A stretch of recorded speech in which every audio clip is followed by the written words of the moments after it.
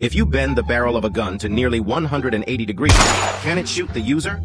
To test this, a man bought an AR-15 rifle.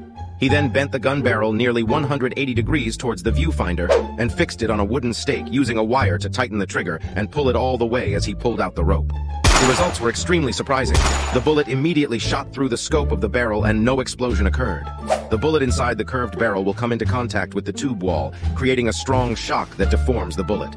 This process will consume the bullet's energy, causing it to slow down as it exits the barrel.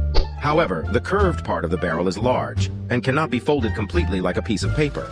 If the gun were really bent that much, the bullet might not be able to withstand the strong pressure and explode immediately. Subscribe to the channel for more interesting information.